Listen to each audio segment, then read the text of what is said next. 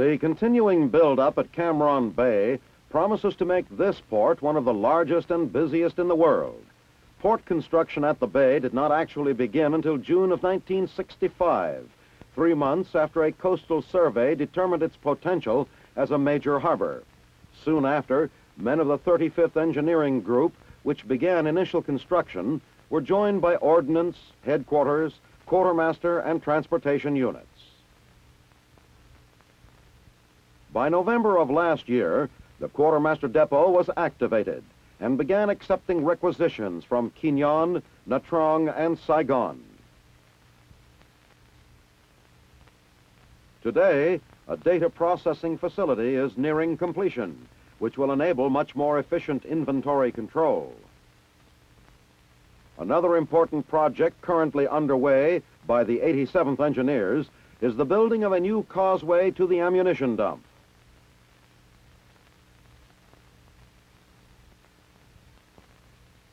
In anticipation of the buildup yet to come, more construction equipment has been concentrated at Cam Ranh Bay than there has ever been anywhere else in Southeast Asia.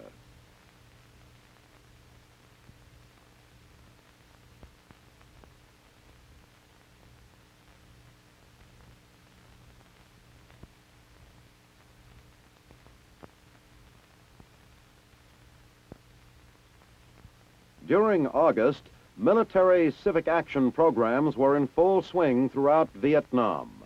Several activities took place in the province of Phu Yen. A medical team arrives at Tuy Hoa, a village 360 kilometers northeast of Saigon.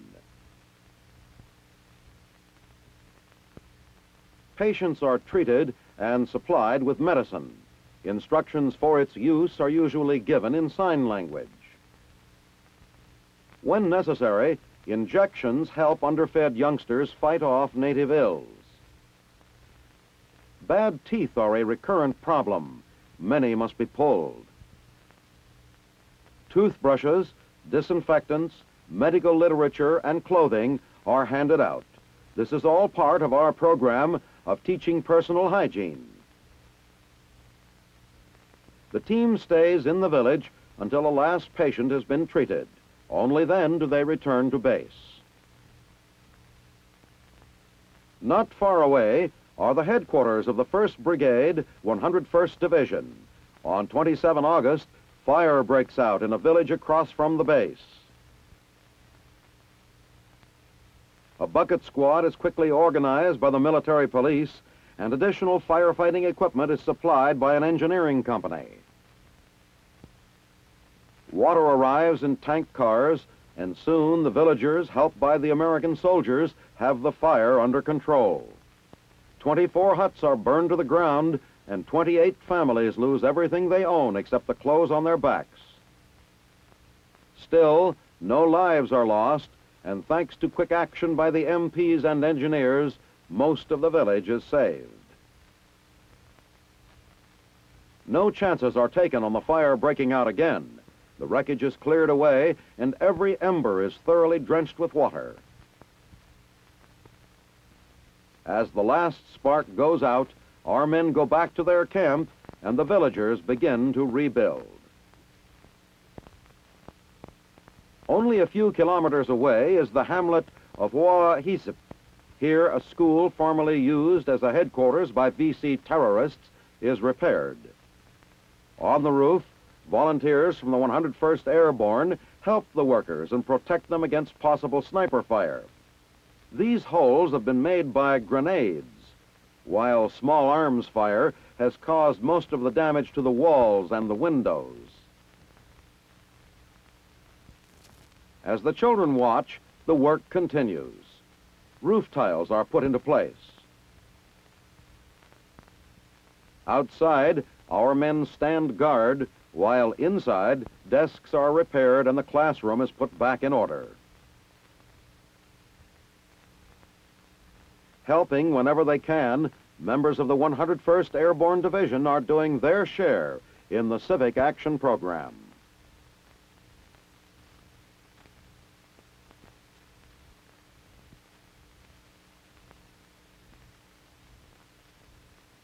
Efforts by the 300-man headquarters Australian force to aid the Vietnamese people are gaining support. The unit recently began to help a small orphanage in Saigon, and when word of their activities reached Australia, companies and individuals generously began to send needed supplies of food and clothing. On September 3rd, members of the unit arrive at the orphanage to deliver the latest shipment cartons of baby food and sugar.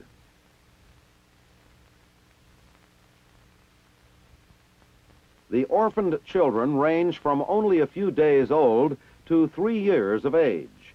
Many formerly suffered from malnutrition and body sores, but now Australian medical officer Captain John Raftery and a Vietnamese doctor have begun regular medical visits.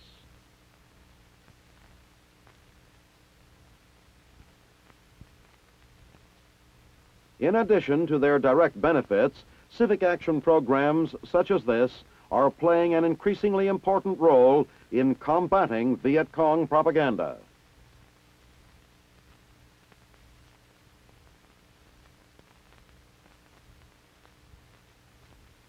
Forty-five generals gathered in Seoul on August 13th for the commanding general's fourth invitational shooting match.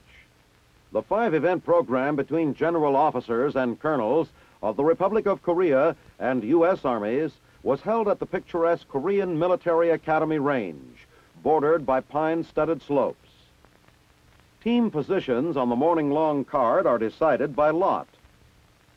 Host for the match was General Dwight E. Beach, commander of the 8th U.S. Army. At last year's meet, the 1st ROK Army walked off with the top prize in the star-studded field, which has been dominated annually by Koreans and their firearms.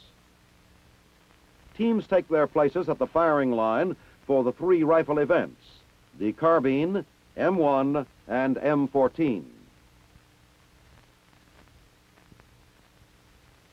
The last two events were shot with 38 and 45 caliber pistols at a distance of 25 yards.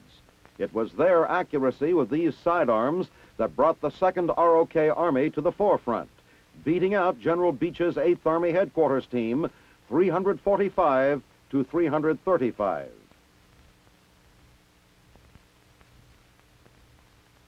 After tabulation of the scores and a break for lunch, General Beach presented the individual awards.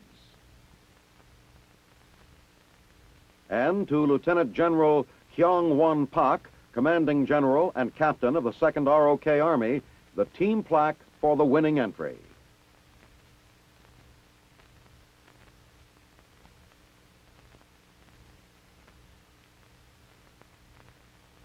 At Lake Chiemsee, Germany, a skydiving team from the 3rd Support Brigade, known as the Sky Eagles, is about to give a water landing jump exhibition.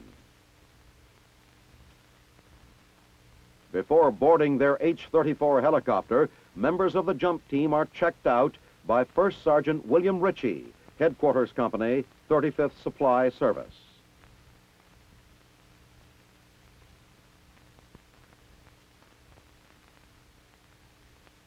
This is how the lake resort, located 40 miles south of Munich, looks on a clear September day. The Sky Eagles will soon be joining the sailing craft in the lake.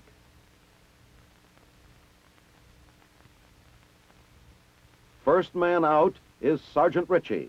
Parachuting into water is not easy because it is unusually difficult to judge the distance and speed at which the jumper is falling.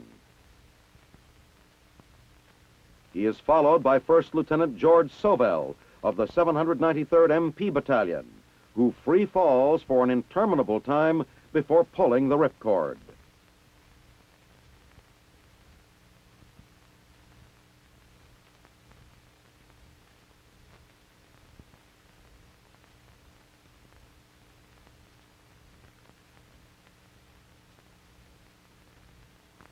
But the Sky Eagles know their job. Without exception, they land on target. Wet, but happy with their success.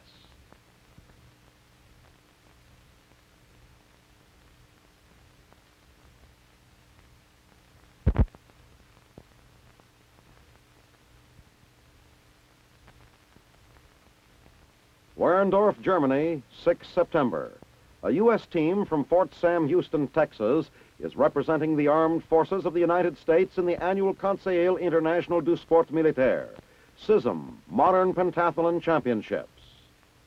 This year's meet is being hosted by West Germany. Crack military teams from 10 European countries and the United States are competing in the five event championships, which include horseback riding, fencing, pistol shooting, swimming, and a 4,000 meter cross country run. Each competitor must complete all five events before he can qualify for individual and team standings.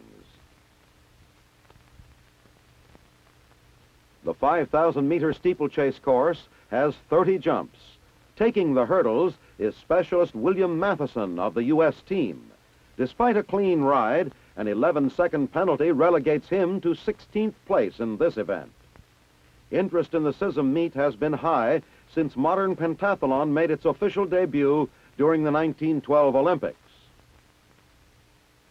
At that time, General George S. Patton, then lieutenant, finished fifth overall in the individual standings. Fencing is conducted under international rules, using electrical contact controls. Each man must first compete against each member of his own team before being matched against members of other teams. In this event, Specialist Matheson leads the U.S. contingent as he placed eighth among the 26 competitors. For the pistol shoot, Lieutenant Donald Wallheim, an alternate, blackens his sights and discusses strategy with a team manager, Lieutenant Colonel Emmett C. Townsend. In this event, on the 25-meter pistol range, Specialist Matheson comes through again to take third place in the scoring. Swimming events occupy the fourth day of the competition.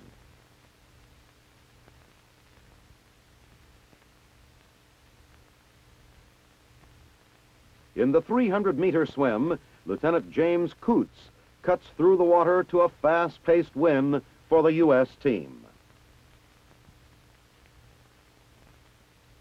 Lieutenant Coots proudly takes his place of honor on the winner's stand. The final event of the meet, the 4,000 meter cross-country run, gets underway for the U.S. with Lieutenant Coots. Running against the clock, Specialist Larson, number eight, gets his tap off and starts down the long trail. Specialist Matheson is the third and last member of the team to leave.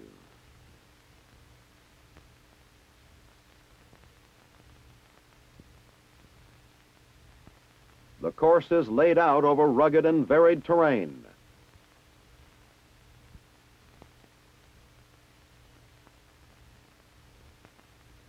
Specialist Larson, with a time of 1240.7, takes first place. On the winner's stand, Specialist Larson proudly accepts his prize on behalf of the U.S. team. Then stands at attention as the American flag is raised, signifying a first-place victory in the event. At formal ceremonies held in the streets of Warendorf, the U.S. team is awarded second place behind Italy in the overall competition.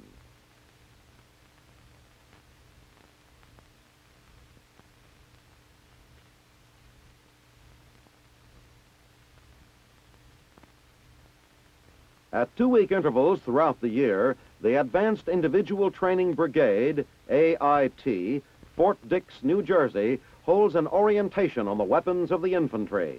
Designed to give new recruits an introduction to the weapons and their capabilities, the demonstrations are popular with the public, who turn out in large numbers to see the show.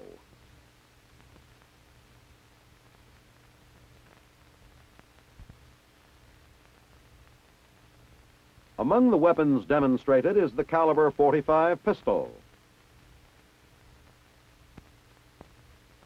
The M14A2, equipped with an automatic capability, bipod legs, two hand grips, and a flash compensator. This weapon replaces the BAR. The M16 rifle is gaining popularity among troops in Vietnam. It permits the launching of grenades without supplementary attachments.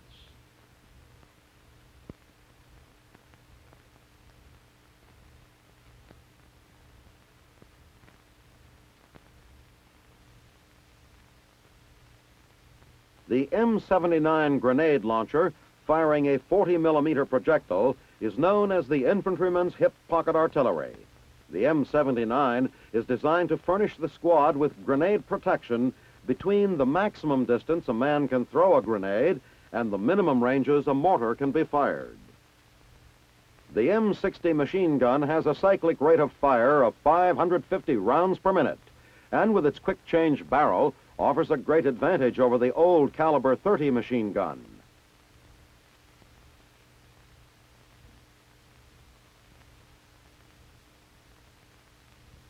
The M60 can be handheld, mounted on a bipod,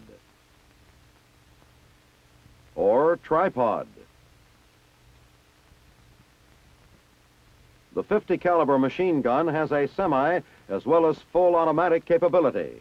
When equipped with a telescopic sight, it may be used as a sniper weapon.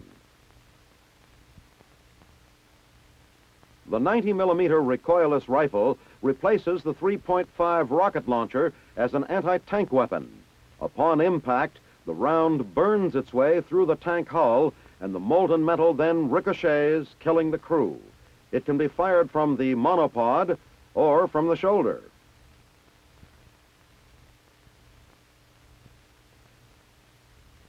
The 106 millimeter recoilless rifle is the company's long-range anti-tank weapon. The 81 millimeter mortar is a widely used weapon and is normally placed in support of the rifle company.